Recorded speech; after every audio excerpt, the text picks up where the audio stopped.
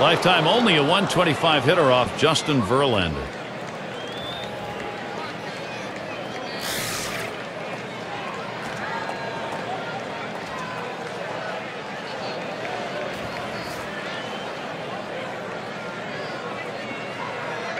The first pitch.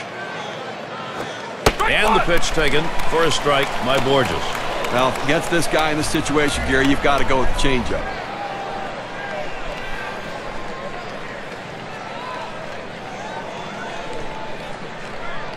Now Avila sets up. Swing hits this one pretty well. Deep right center. Boesch is there. The dive, and he's got it. What a catch. Had to lay himself out, but he comes away with it. Well, the key isn't the catch at the end. The key is first step. He got a great jump on it, and that's what allowed him to run it down.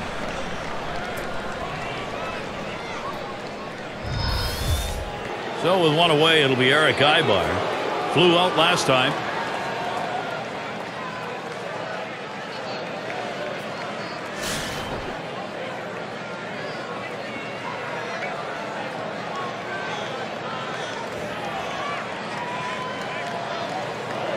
Here's the first pitch. And Verlander has him 0-1 with that called strike. Verlander just oozing confidence right now out there. It's, I tell you, the consistency is starting to show he believes. How's he been getting strikes? Let's take a look at his approach today. Well, what stands out is uh, when he's been most successful is when he's hitting the inside and outside corners of the plate. He's keeping the ball out of the middle, and that's the way you have success in this league. That's exactly it. Keep the ball out of the center of the plate, make it difficult for the hitter to center the ball on the bat. Fastball got him two down. You've got to have better plate discipline than that. With two strikes, you need to be defensive and try to make contact. But when you get a fastball, you need to read whether it's a strike or not.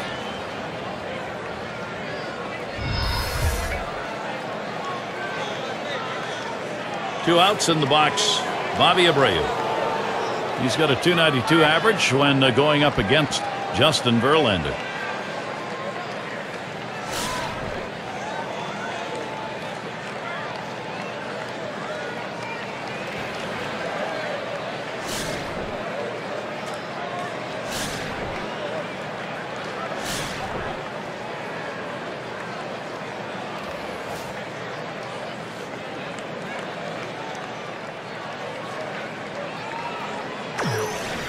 Here's the delivery. Outside as Abreu takes it for a ball.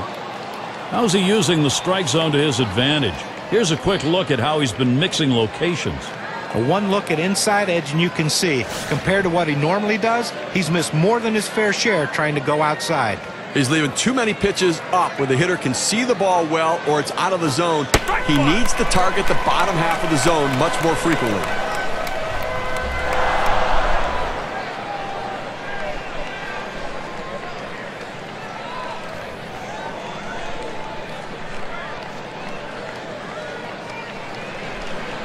One one pitch.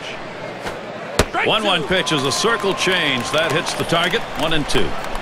Well, the change up right there hit a good spot. You want to keep that down in the zone so even if they swing at it, it stays in the ballpark.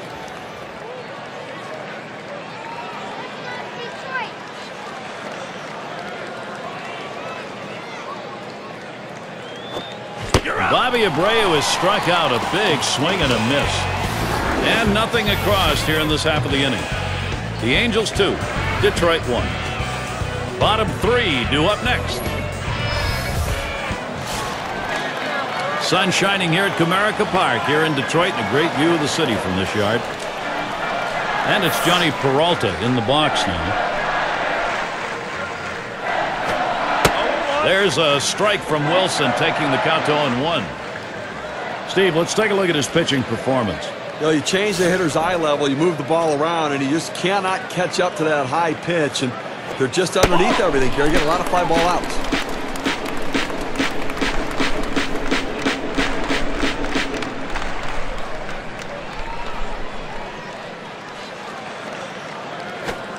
Ooh, tough to lay off there, but it's two and one.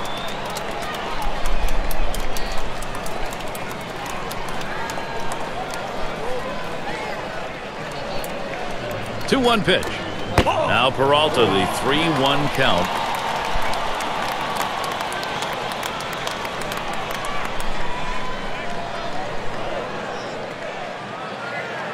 He deals. That misses ball four.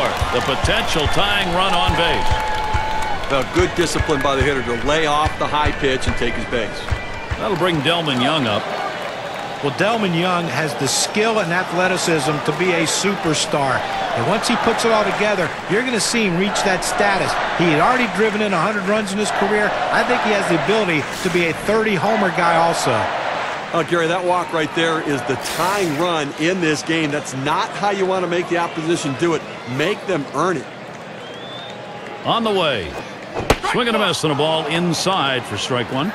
Stevie knows he's really got a pitch now. He's put himself in a situation where he's really brought pressure on himself. Uh, you know, these are the type of innings you get really big on you right here. It's about damage control. I know you put the tying run on, but you've got to bear down right here.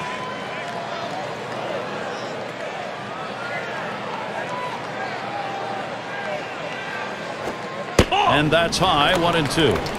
Now, let's take a moment to see how this pitcher has been mixing up his pitches. John, Steve, what do you think about how he's done? Pretty impressive stuff, the way he's been pounding this strike zone.